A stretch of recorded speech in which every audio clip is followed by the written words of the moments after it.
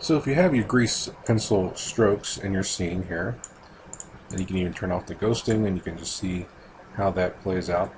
If you don't necessarily want to show them, but you don't want to delete them either, you can simply go to the Show menu, and down here there's a checkbox for Grease Pencil. If I uncheck it, the Grease Pencil strokes are hidden, even though they're still there, they're just hidden from the scene.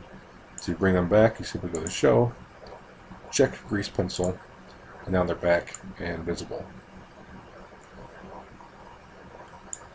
And again, you can right click in your timeline to go to grease pencil. You can say only show this grease pencil stroke in the active camera, or you can say show it in all cameras, or no cameras. And then here use your delete frames option for all of them, or, or delete only the grease pencil strokes that are associated with this camera, which is the perspective camera. If you had other cameras that had grease pencil strokes applied to them, they'd show up in a list here. But we only have the one uh, sequence of grease pencil strokes on our perspective camera. So when I go to delete frames, only the perspective camera is listed. So that's what these buttons all do.